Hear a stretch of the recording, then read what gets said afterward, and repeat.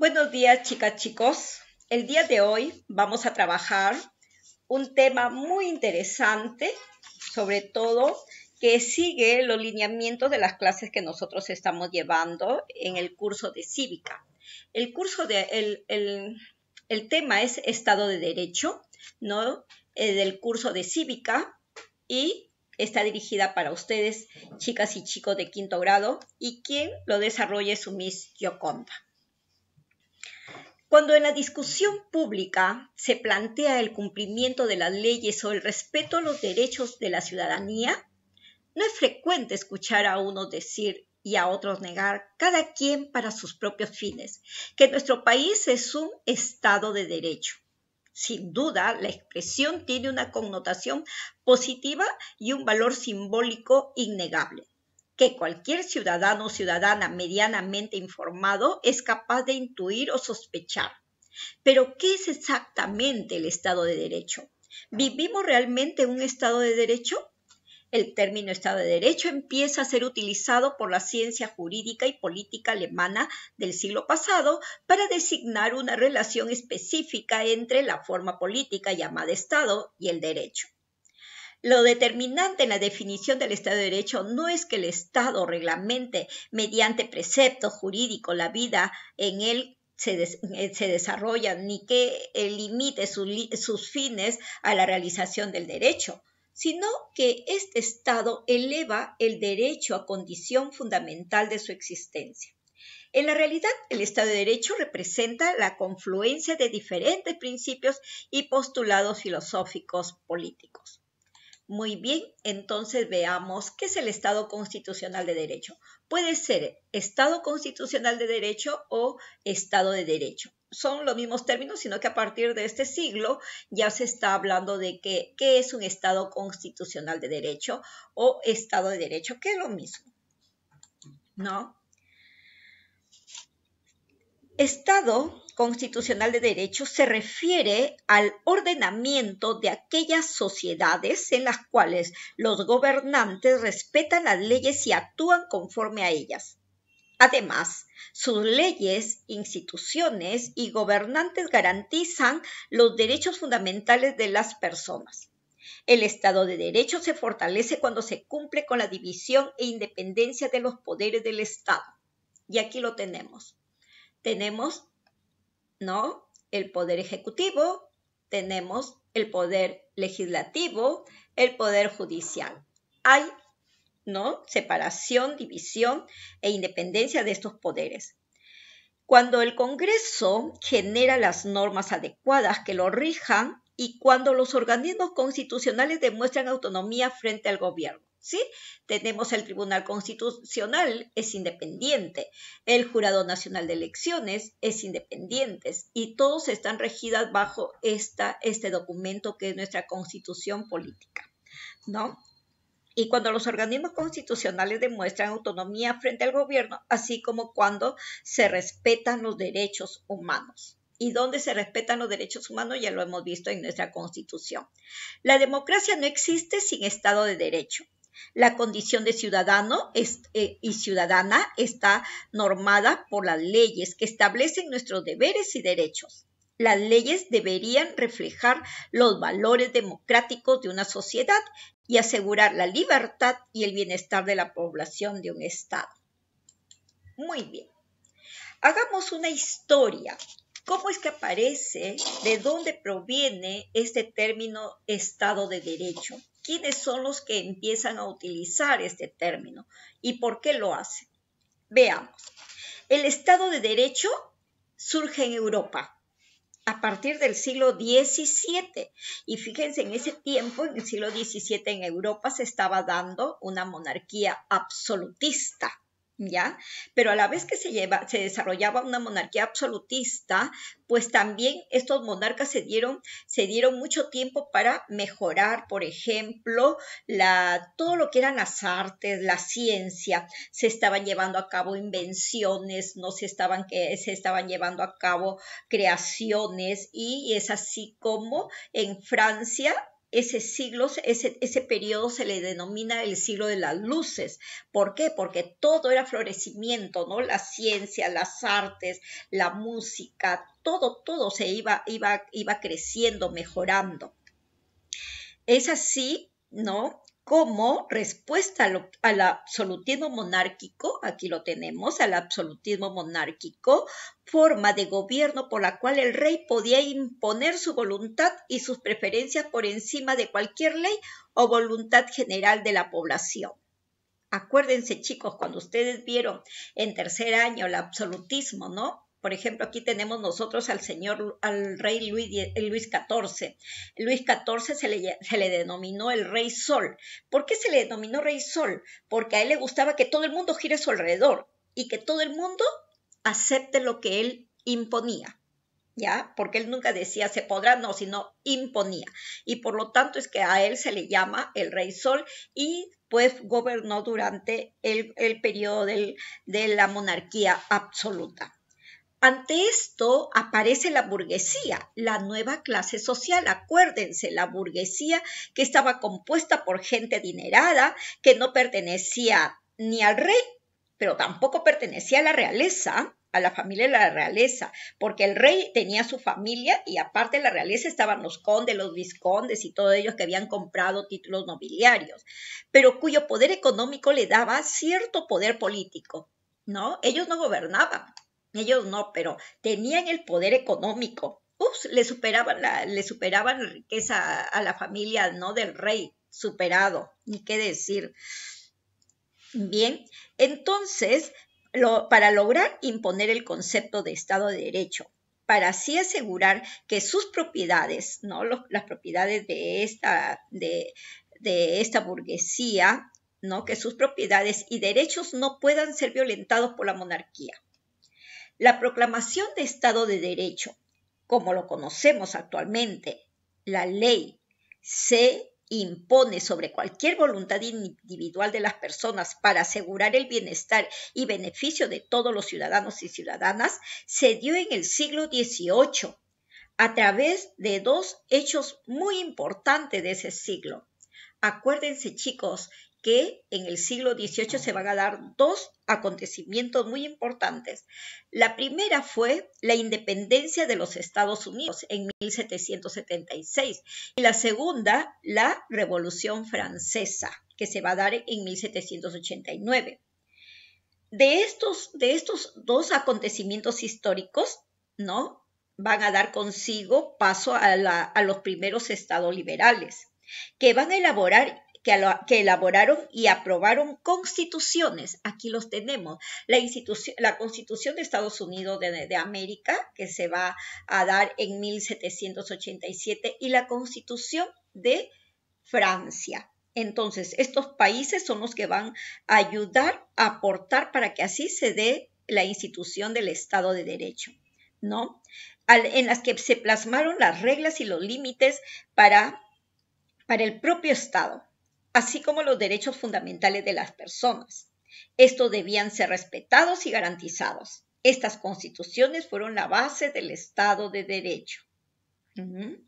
Entonces ustedes ya conocen cuál es el origen de dónde sale, de dónde nace el Estado de Derecho en el mundo.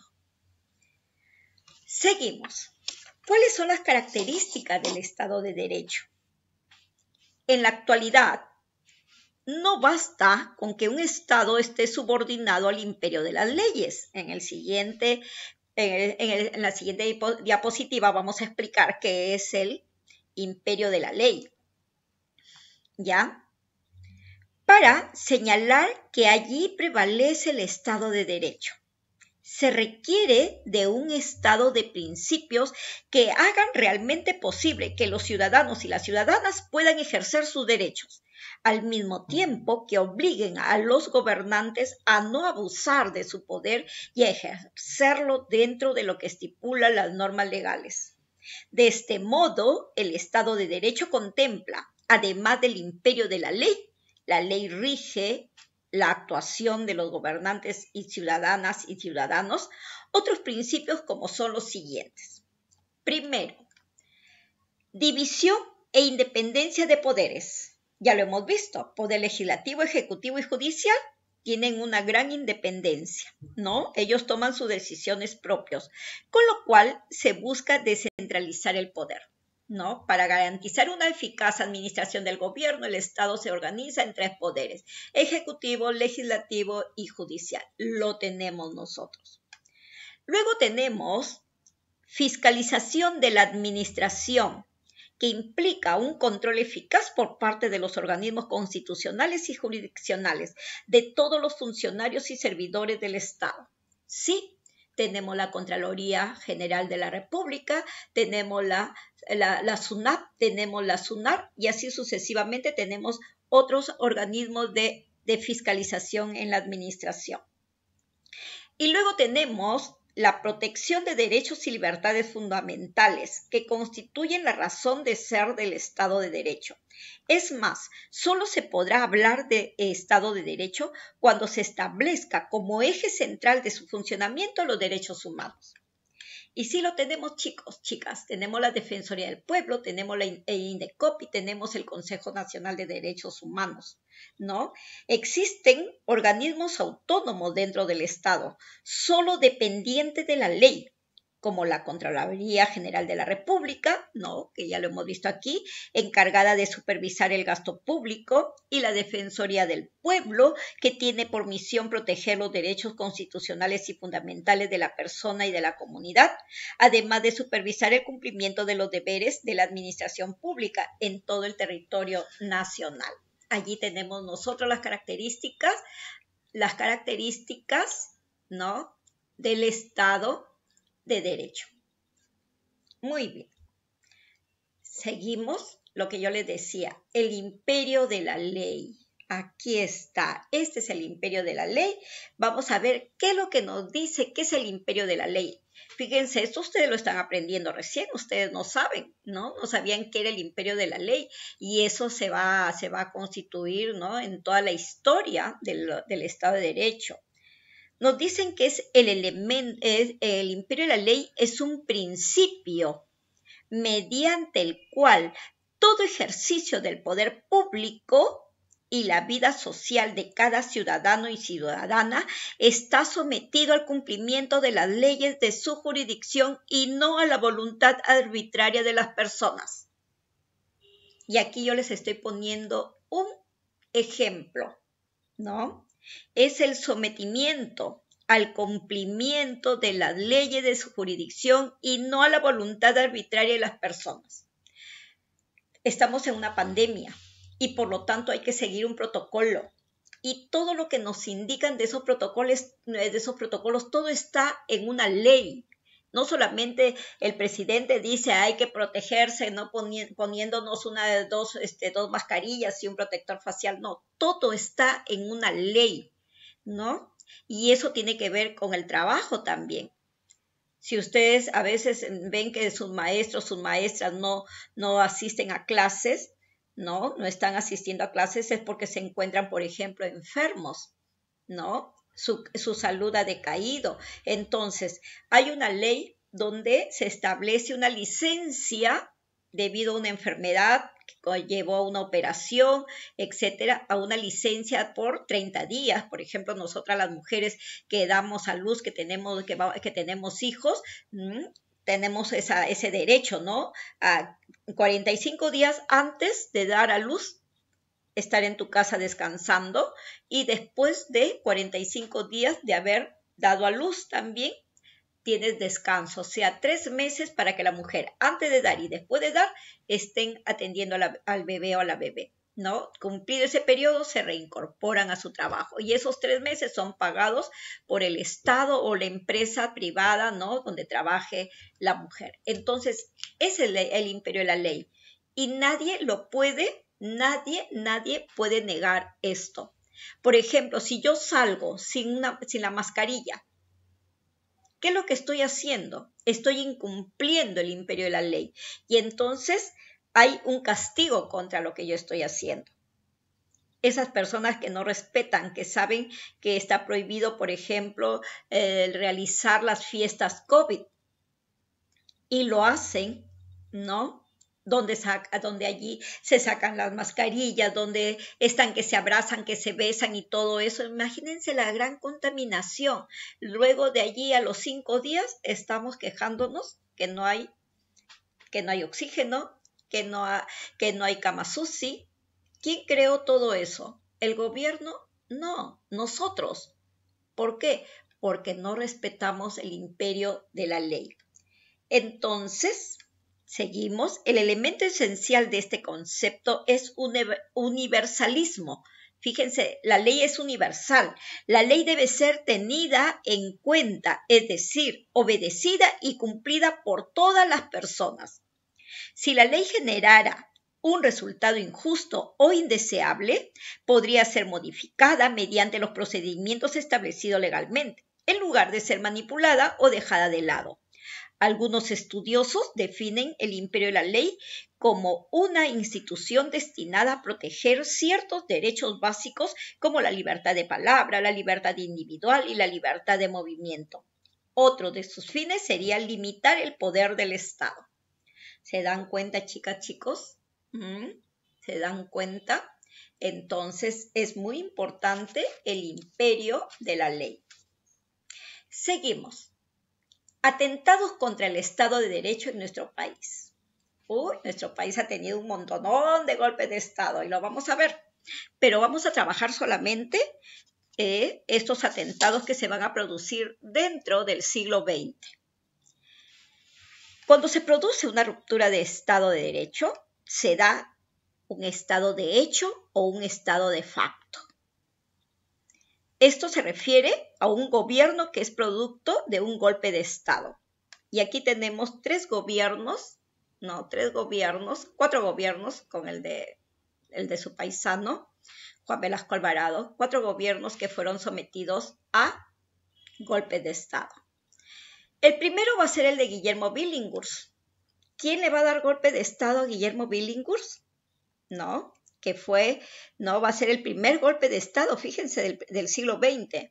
Lo, lo, protagonizó el coronel Oscar Rudecindo Benavides, Larrea, quien encabezó el 3 de febrero de 1914 un golpe, un golpe de Estado contra el presidente Guillermo Billinghurst. ¿Y por qué le dan un golpe de Estado a Guillermo Billinghurst? Porque Guillermo Billinghurst era una persona que se identificaba mucho con el trabajador y él es el que va a dar, por ejemplo, va durante su gobierno, que el, poco tiempo que estuvo, va a dar leyes a favor, por ejemplo, de la huelga, que el, que el trabajador podía irse a huelga, el periodo de las ocho horas de labor, ¿no?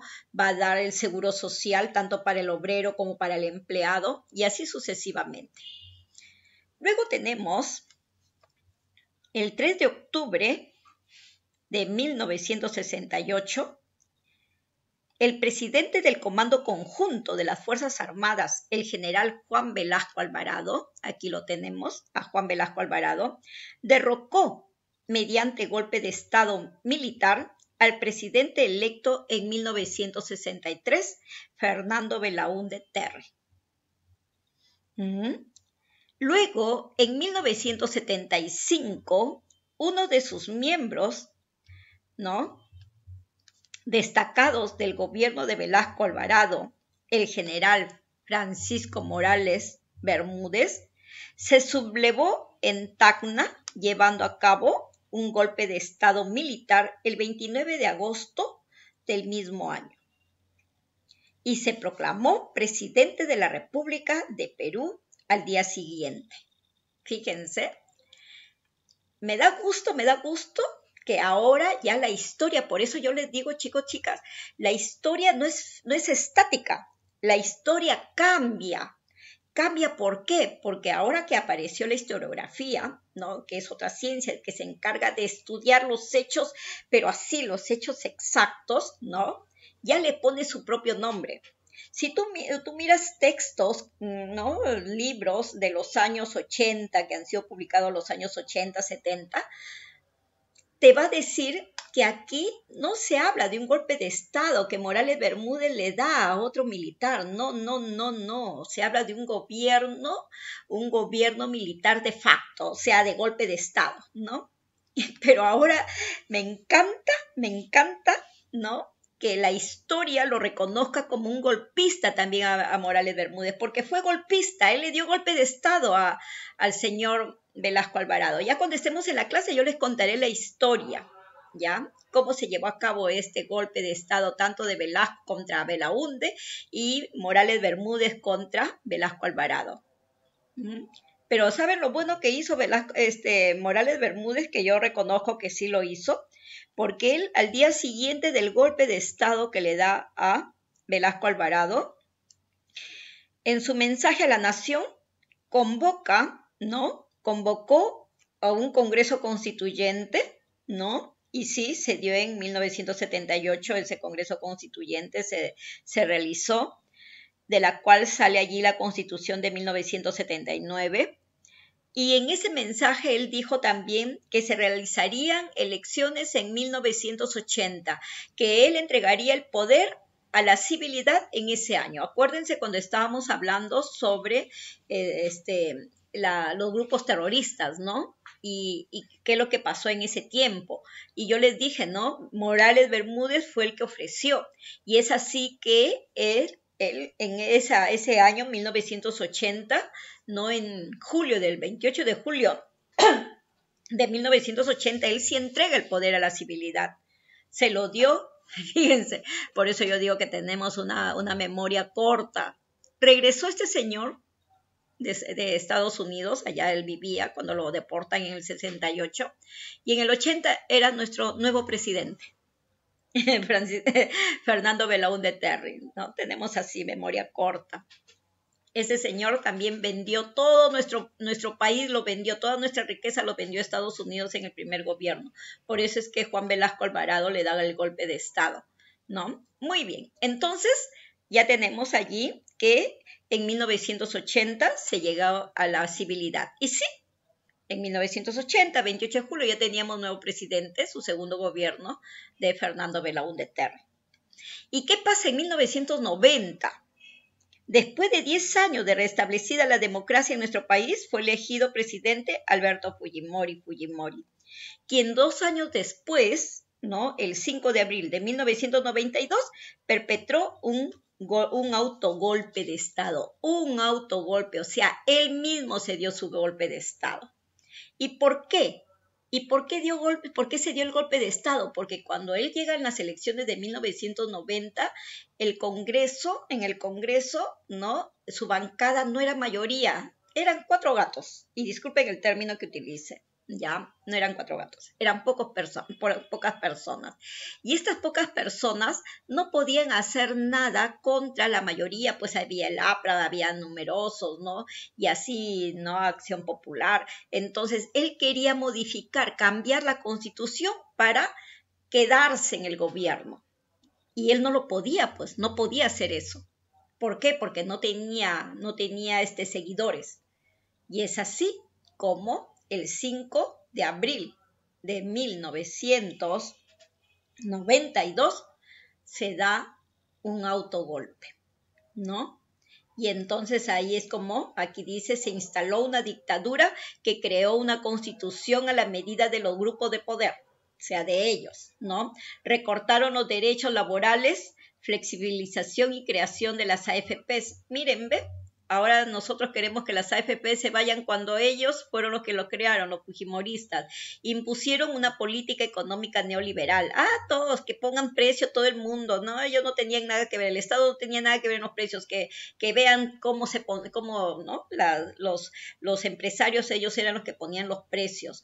Violaron derechos humanos y cometieron crímenes de lesa humanidad se privatizaron empresas estatales a precios de remate, privatizaron nuestras empresas y ahora nos dicen, no, hay que tenerle miedo al, lápiz porque el lápiz, el lápiz va a privatizar. Claro, va a nacionalizar, no privatizar, sino nacionalizar empresas. Y ellos nos hicieron eso, ¿no? Y miren, vendieron, remataron nuestras empresas privadas, ¿no? Controlaron y consumieron y censuraron medios de comunicación. Es una partecita nada más, chicas, chicos.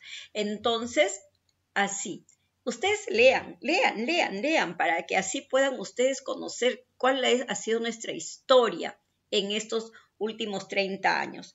Muy bien, chicas, chicos, espero que les haya gustado mi clase, ya, ya nos veremos en la presencial, espero ya que se cuiden, ¿no? Eh, no hagan mucho, no salgan así por gusto, ¿no? Tengan, tengan cuidado y mantengan la distancia que nos exigen. Muchas gracias con todas y todos.